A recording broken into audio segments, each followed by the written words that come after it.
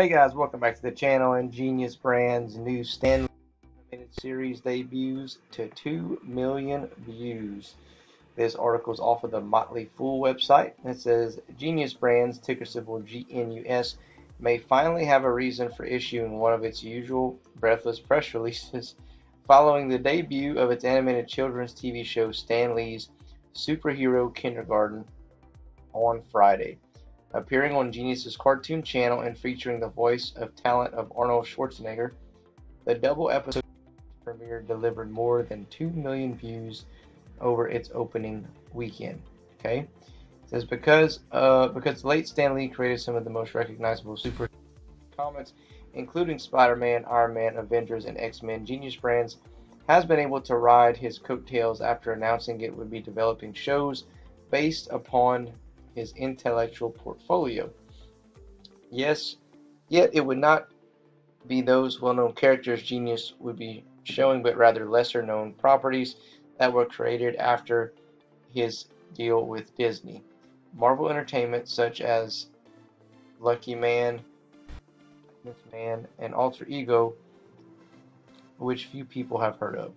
One of the programs that grew out of its arrangement with Lee's POW Entertainment was the development of superhero kindergarten action adventure cartoon series to promote health and fitness. Exclusive to Genius's digital-friendly cartoon channel, which launched in January, it can be assess, accessed on both Apple and Android devices, as well as Amazon Prime on connected TVs and devices. That Genius was able to get over 2 million views for this series is a testament to the draw both Stan Lee and Arnold Schwarzenegger still possesses. Genius Brands has also attracted a follow, following among investors, taking the breezy hyperbole of the media company's press releases. Its stock typically rises and falls with every new issue, only to tumble sometime later as the hype often fails to live up to the expectations. Superhero Kindergarten, though, should at least give them something more substantial to hang on to for a while. So, uh, if you were paying attention to the stock market, uh, just about everything was up today, including Genius Brands. Okay, and speaking of Arnold Schwarzenegger, he's going to be on Jimmy Kimmel Live today. Uh, Genius Brands actually tweeted that out today. So if you are uh, able to watch, that would be cool to maybe take a look at um, and you know see if he, you know, kind of what he talks, you know, what he talks about, and see if he, you know, promotes the company and maybe give a little buzz going into tomorrow. So let's take a look at the charts really quick and see what they're telling us, give you some key support and resistance levels, and we'll go from there.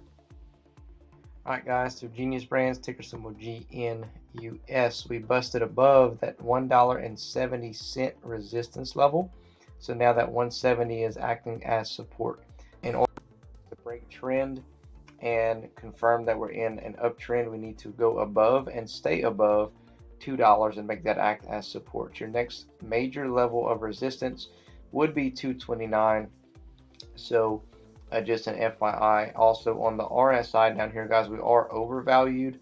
So if we do get a little push up, uh, in my opinion, I think we're going to get rejected around that $2 mark and bounce back down and maybe retest that $1.70 before um, hopefully and coming up to try to test that 229 resistance level. But keep that in mind right now. We are in overvalued territory.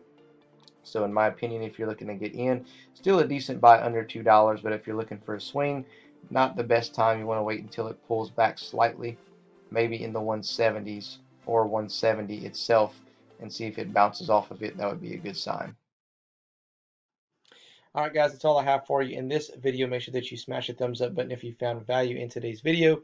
And if you enjoy our content, of course, subscribe to the channel and hit that notification bell. That way YouTube can let you know every time we release new content. Other than that, guys, we'll catch you in the next video.